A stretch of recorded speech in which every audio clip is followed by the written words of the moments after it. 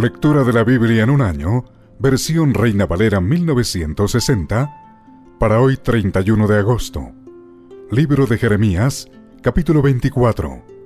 La señal de los higos buenos y malos. Después de haber transportado a Nabucodonosor, rey de Babilonia, a Jeconías, hijo de Joacim, rey de Judá, a los príncipes de Judá y a los artesanos y herreros de Jerusalén, y haberlos llevado a Babilonia, me mostró Jehová dos cestas de higos puestas delante del templo de Jehová. Una cesta tenía higos muy buenos, como brevas, y la otra cesta tenía higos muy malos, que de malos no se podían comer. Y me dijo Jehová, ¿qué ves tú, Jeremías? Y dije, higos, higos buenos muy buenos y malos muy malos, que de malos no se pueden comer. Y vino a mí palabra de Jehová diciendo, Así ha dicho Jehová Dios de Israel, Como a estos higos buenos, así miraré a los transportados de Judá, a los cuales eché de este lugar a la tierra de los caldeos para bien. Porque pondré mis ojos sobre ellos para bien, y los volveré a esta tierra, y los edificaré, y no los destruiré, los plantaré y no los arrancaré. Y les daré corazón para que me conozcan que yo soy Jehová, y me serán por pueblo, y yo les seré a ellos por Dios, porque se volverán a mí de todo su corazón. Y como los higos malos, que de malos no se pueden comer, así ha dicho Jehová. Pondré a Sedequías rey de Judá, a sus príncipes y al resto de Jerusalén que quedó en esta tierra, y a los que moran en la tierra de Egipto, y los daré por escarnio y por mal a todos los reinos de la tierra, por infamia, por ejemplo, por refrán y por maldición a todos los lugares a donde yo los arroje. Y enviaré sobre ellos espada, hambre y pestilencia, hasta que sean exterminados de la tierra que les di a ellos y a sus padres.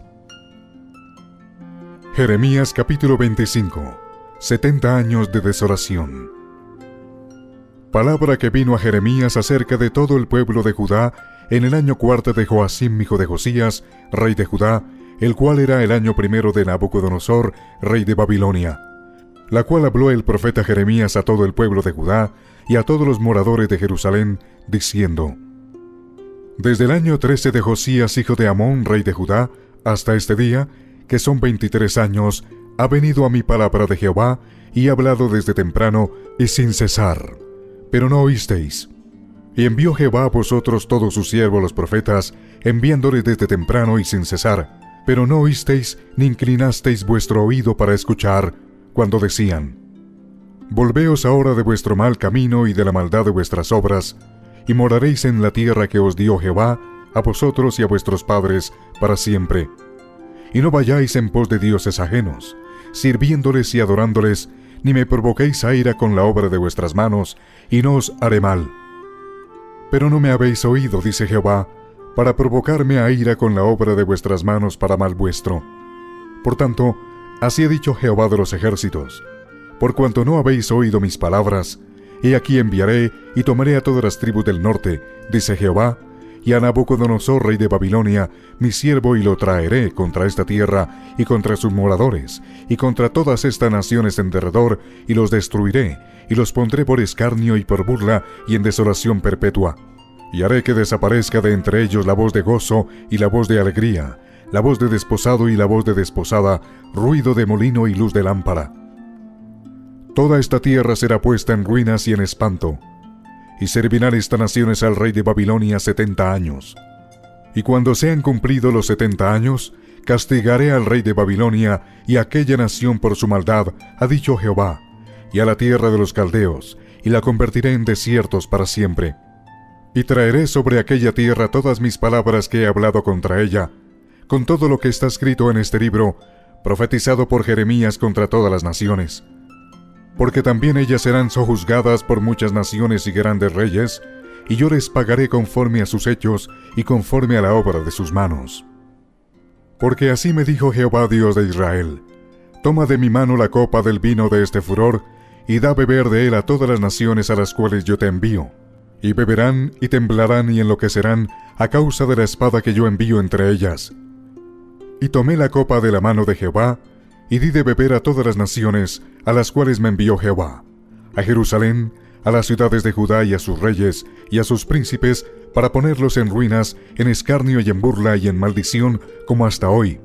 A Faraón, rey de Egipto, a sus siervos, a sus príncipes y a todo su pueblo, y a toda la mezcla de naciones, a todos los reyes de la tierra de Uz, y a todos los reyes de la tierra de Filistea, a Ascalón, a Gaza, a Ecrón y al remanente de Asdod, a Edom, a Moab y a los hijos de Amón, a todos los reyes de Tiro, a todos los reyes de Sidón, a los reyes de las costas que están de ese lado del mar, a Dedán, a Tema y a Bus, y a todos los que se rapan las sienes, a todos los reyes de Arabia, a todos los reyes de pueblos mezclados que habitan en el desierto, a todos los reyes de Simri, a todos los reyes de Elam, a todos los reyes de Media, a todos los reyes del norte, los de cerca y los de lejos, los unos con los otros, y a todos los reinos del mundo que están sobre la faz de la tierra, y el rey de Babilonia beberá después de ellos. Les dirás pues, así ha dicho Jehová de los ejércitos, Dios de Israel, bebed y embriagaos, y vomitad y caed, y nos levantéis, a causa de la espada que yo envío entre vosotros. Y si no quieren tomar la copa de tu mano para beber, les dirás tú, así ha dicho Jehová de los ejércitos, tenéis que beber. Porque he aquí que a la ciudad en la cual es invocado mi nombre yo comienzo a hacer mal, ¿y vosotros seréis absueltos? No seréis absueltos, porque espada traigo sobre todos los moradores de la tierra, dice Jehová de los ejércitos. Tú pues, profetizarás contra ellos todas estas palabras y les dirás, Jehová rugirá desde lo alto, y desde su morada santa dará su voz. Rugirá fuertemente contra su morada. Canción de lagareros cantará contra todos los moradores de la tierra. Llegará el estruendo hasta el fin de la tierra, porque Jehová tiene juicio contra las naciones. Él es el juez de toda carne. Entregará a los impíos a espada, dice Jehová. Así ha dicho Jehová de los ejércitos. He aquí que el mal irá de nación en nación, y grande tempestad se levantará de los fines de la tierra. Y yacerán los muertos de Jehová en aquel día desde un extremo de la tierra hasta el otro. No se endecharán ni se recogerán, ni serán enterrados. Como estiércol quedarán sobre la faz de la tierra. Aullad, pastores, y clamad. Revolcaos en el polvo, mayorales del rebaño, porque cumplidos son vuestros días para que seáis degollados y esparcidos, y caeréis como vaso precioso y se acabará la huida de los pastores y el escape de los mayorales del rebaño. Voz de la gritería de los pastores y aullido de los mayorales del rebaño, porque Jehová asoló sus pastos. Y los pastos delicados serán destruidos por el ardor de la ira de Jehová. Dejó cual leoncillo su guarida, pues asolada fue la tierra de ellos por la ira del opresor y por el furor de su saña. Jeremías capítulo 26 Jeremías es amenazado de muerte. En el principio del reinado de Joacim, hijo de Josías, rey de Judá, vino esta palabra de Jehová diciendo, Así ha dicho Jehová, Ponte en el atrio de la casa de Jehová, y habla a todas las ciudades de Judá, que vienen para adorar en la casa de Jehová, todas las palabras que yo te mandé a hablarles. No retengas palabra. Quizá oigan, y se vuelvan cada uno de su mal camino, y me arrepentiré yo del mal que pienso hacerles por la maldad de sus obras. Les dirás pues, así ha dicho Jehová, si no me oyereis para andar en mi ley, la cual puse ante vosotros, para atender a las palabras de mis siervos los profetas, que yo os envío desde temprano y sin cesar, a los cuales no habéis oído, yo pondré esta casa como silo, y esta ciudad la pondré por maldición a todas las naciones de la tierra. Y los sacerdotes, los profetas y todo el pueblo oyeron a Jeremías hablar estas palabras en la casa de Jehová. Y cuando terminó de hablar Jeremías todo lo que Jehová le había mandado que hablase a todo el pueblo, los sacerdotes y los profetas y todo el pueblo le echaron mano, diciendo, De cierto morirás.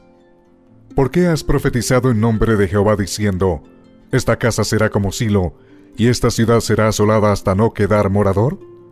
Y todo el pueblo se juntó contra Jeremías en la casa de Jehová. Y los príncipes de Judá oyeron estas cosas, y subieron de la casa del rey a la casa de Jehová, y se sentaron en la entrada de la puerta nueva de la casa de Jehová. Entonces hablaron los sacerdotes y los profetas a los príncipes y a todo el pueblo, diciendo, En pena de muerte ha incurrido este hombre, porque profetizó contra esta ciudad, como vosotros habéis oído con vuestros oídos.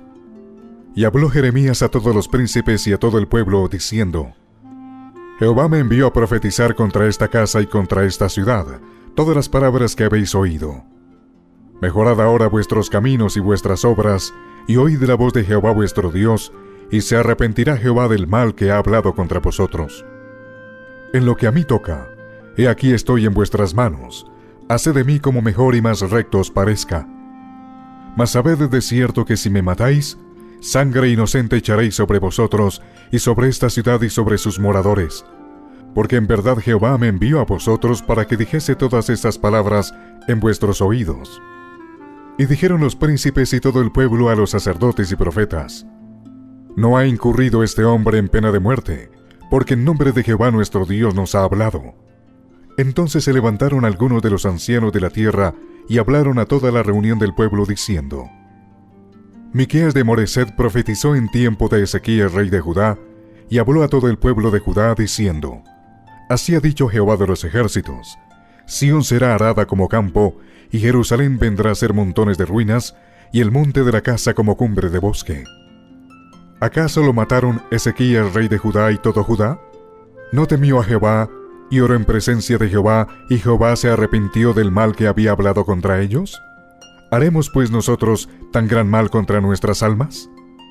Hubo también un hombre que profetizaba en nombre de Jehová, Urías hijo de Semaías, tequería de Jeraim, el cual profetizó contra esta ciudad y contra esta tierra, conforme a todas las palabras de Jeremías. Y oyeron sus palabras el rey Joacim y todos sus grandes, y todos sus príncipes, y el rey procuró matarle, entendiendo lo cual Urías tuvo temor y huyó a Egipto. Y el rey Joacim envió hombres a Egipto, a Elnatán hijo de Akbor y otros hombres con él a Egipto, los cuales sacaron a Urías de Egipto y lo trajeron al rey Joacim, el cual lo mató a espada y echó su cuerpo en los sepulcros del vulgo. Pero la mano de Eicam, hijo de Safán, estaba a favor de Jeremías, para que no lo entregasen en las manos del pueblo para matarlo.